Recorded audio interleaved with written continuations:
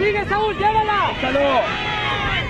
En significativa ceremonia celebrada en la Unidad Deportiva de la Liga Municipal Infantil y Juvenil de Fútbol de Coatzacoalcos premió a campeones y subcampeones del torneo de Copa 2024 en presencia de invitados especiales. La directiva del circuito entregó los trofeos a los conjuntos que se colocaron en la primera y segunda posición del certamen, en las más de cinco categorías convocadas. Uno de ellos, el Atlético Tuzos Cuatza 2013, que conquistó el cetro de la infantil menor al derrotar en la gran final a Chivas Supreme por marcador de 2-0. A esto Germán Medina, jugador del Atleti, dijo que fue difícil sacar la victoria. En el primer tiempo estuvo bien reñido, pero ya cuando en el segundo tiempo ya nos empezamos a tocar la pelota y entre más tocábamos la pelota más nos íbamos a, hacia la portería de ellos.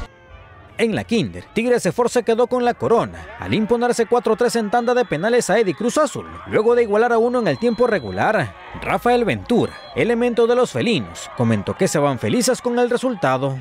Nos vamos felices, la verdad. Eh, nos vamos porque yo, como voy a catecismo, rezaba todas las noches para poder ganar este trofeo que es mi primer título, porque el año pasado nos quedamos en semis. Enrique Rodríguez, presidente de la municipal, comentó que esta vez cerca de 100 equipos fueron parte de la competencia.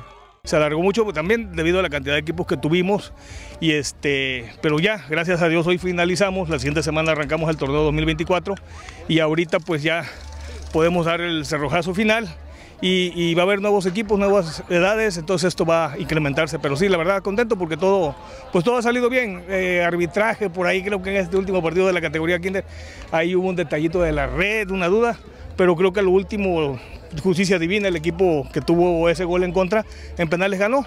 Y ya, gracias a Dios, todo bien. Las demás escuadras ganadoras son Atlético Jaguares por la infantil mayor, Cruz Azul filial en la juvenil menor y Gladiadores. Se consagró monarca en la mayor. Enrique Martínez, RTV. Más deportes.